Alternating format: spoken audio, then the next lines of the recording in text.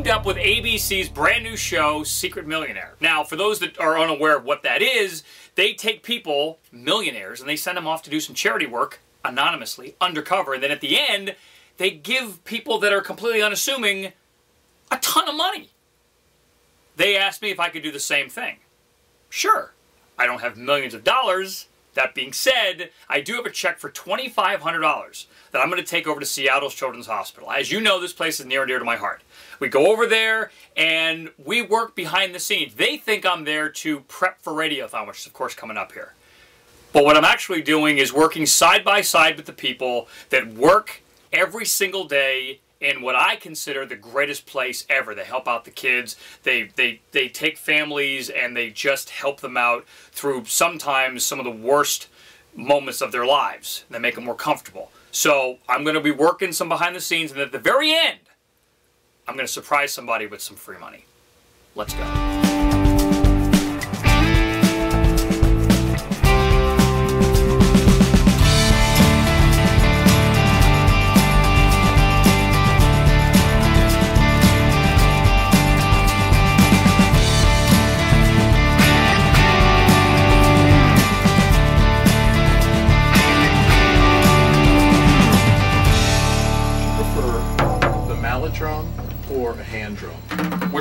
Which would prefer me to play?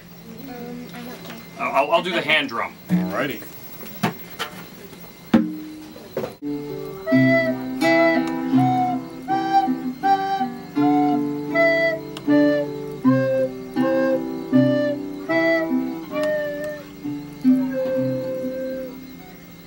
Wow, that sounds like you did practice that. say you weren't practicing, because then it just looks like, wow! First time out of the gate, really good! Yeah, I stopped playing because I, I, didn't, I, I didn't want to take away from it. You sound really good. That's very impressive. You should be very proud of yourself. Now this is considered just the, the playroom? Is this, yes. is this where all the kids in the hospital come? Well, all the kids that, that want to come down here, yeah, okay. and, that, and, that, are able to. I mean, some of the kids that are in treatment aren't able because of the immune suppression. They're not able to come down here. We have a playroom upstairs that they can go to. But all the other kids, yeah, they're welcome to be here. And this is a free zone. This is a pain-free zone. Doctors are not allowed to come in here do any kind of checkups, no procedures. This is where kids come to have a good time, enjoy themselves, and make all their own choices. There's a uh, another reason I was kind of over here, and that reason would be is I have access to some funds, and I thought, well, if we're kind of you know waiting on some donations, and there are things that you could add to this room, and it's easily accessible, and if you had the money, then we could take care of something like that. Would that work? That would be great. Okay. I say hand you a check for 2,500 bucks, earmarked just for this room.